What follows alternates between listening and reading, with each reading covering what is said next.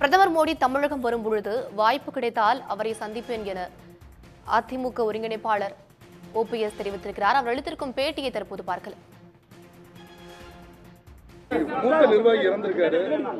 முன்னாள் சட்டமன்ற அரசு கொறடா மரியாதைக்குரிய அண்ணன் துரை கோவிந்தராஜன் அவர்கள் மறைவு அனைத்து இந்திய அண்ணா திராவிட முன்னேற்ற கழகத்திற்கு மிகப்பெரிய பேரிழப்பாகும் என்பதை தெரிவித்துக் கொள்கிறோம்.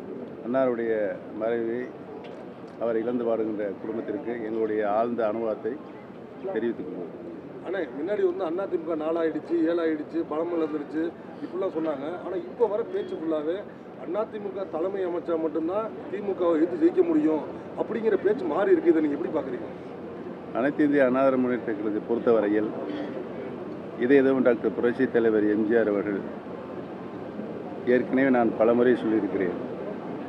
தொண்டர்களுடைய நலனுக்காக உருவாக்கப்பட்ட இயக்கம். தொண்டர்களுக்கான இயக்கமாகத்தான் ஐம்பது ஆண்டு காலம் நம்முடைய பரிணாம வளர்ச்சி இருந்திருக்கிறது.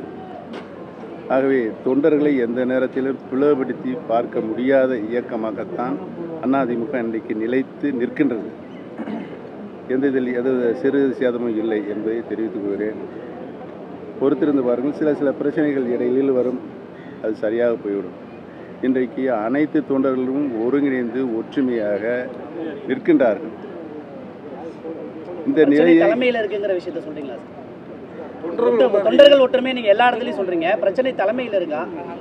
பிரச்சனை வந்து தலைமையில் இருக்கின்ற ஒரு மாயத்தோட்டம் உருவாயிருக்கிறது. இது போக போக சரியாகிவிடும். இப்ப அண்ணன் தம்பியா திமுக அதிமுக அண்ணன் தம்பிகளா இவ்வளவு காலமா இருந்தோம். இன்னைக்கு வந்து பிஜேபி வந்து அஹ், பிரிவுபட்டிருக்கக்கூடிய அதிமுக வந்து ஒன்று சேர விடாம தவி தடுக்குது. தொடர்ந்து அவங்களுக்குள்ள பிரிவு ஏற்படுறது வந்து பாஜக தான் காரணமா இருக்குன்னு அமைச்சர் கே. அந்த நிலை அனைத்து இந்திய அன்னார முன்னேற்றத்திற்கு இல்லை. பொது இல்லை அமித்ஷாவை டெல்லியில் வந்து இருவரும் சந்திக்கிறதுக்கு வாய்ப்பு இருக்கா? நீங்கள் இல்லை தனியாக சந்திக்கிறீங்க பன்னிரெண்டாம் தேதி வர தமிழகம் வர்றாரு அப்போ இது அப்ப பிரதமர் மாண்புமிகு பாரத பிரதமர் அவர்கள் இங்கு தமிழகம் வருவதாக இருக்கிறது. அந்த நேரத்தில் உரிய எங்களுக்கு வாய்ப்பு கிடைத்தால் சந்திப்போம். அண்ணா திமுகவை பொதுவாகவே வந்து எதிர்த்து பேசிக்கிட்டே இருந்த டிடிவி தினகரன் இப்போ என்ன சொல்றாருன்னா அண்ணா திமுக கூட்டணி அமைச்சா நானும் சேர்றதுக்கு தயாரா இருக்கேங்கிறாரு.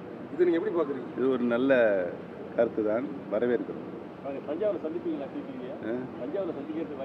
வாய்ப்பு ஏற்பட்டால் சந்திப்பேன். திமுக அமைச்சர் கே. நேரு அதிமுகவும் திமுகவும் அண்ணன் தம்பி கட்சி அப்படிங்கிறாரு. பாஜகவை தான் இப்ப வரவிடக்கூடாதுன்னு. அதை எப்படி பார்க்குறீங்க? அண்ணன் தம்பி இயக்கம் தான். ஆனால் நாங்கள் மாறுபட்ட பாதையில் சென்று கொண்டிருக்கிறோம். எங்களுடைய பாதை அனைத்து இந்திய அன்னார முன்னேற்ற கழகம் இதை தான் டாக்டர் புரட்சி தலைவர் அவர் உருவாக்கிய பாதை. அந்த பாதையில் நாங்கள் பயணித்துக் கொண்டிருக்கிறோம்.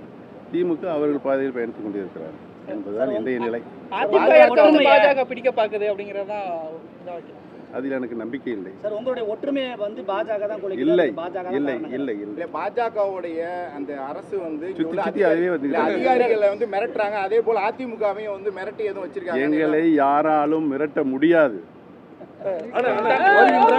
பாராளுமன்ற தேர்தலுக்குள்ள உங்களுக்குள்ள பிரச்சனை எல்லாம் முடிச்சிருமா அண்ணா திமுக ஒருங்கிணைஞ்சிருமா நான் ஒவ்வொரு கட்டத்திலும் சொல்லி கொண்டிருக்கிறேன். இது தொண்டர்களுக்கான இயக்கம். ஆகவே தொண்டர்களை யாராலும் பிழைப்படுத்தி பார்க்க முடியாது. அது நடக்காது. தமிழ்நாட்டுல வந்து திமுக பாராளுமன்ற தேர்தல் அனைத்து இந்திய அண்ணா முன்னேற்ற கழகத்திற்கு மாபெரும் பிரதமர் மோடி தமிழகம் வரும் பொழுது வாய்ப்பு கிடைத்தால் அவரை சந்திப்பேன் என திருச்சியில் அதிமுக ஒருங்கிணைப்பாளர் ஓபிஎஸ் பேட்டி அளித்திருந்தார். இந்த காட்சிகளை பார்த்தோம். உடனுக்குடன் செய்திகளை தெரிந்து கொள்ள சன் நியூஸ் பெல் ஐக்கான கிளிக் பண்ணுங்க.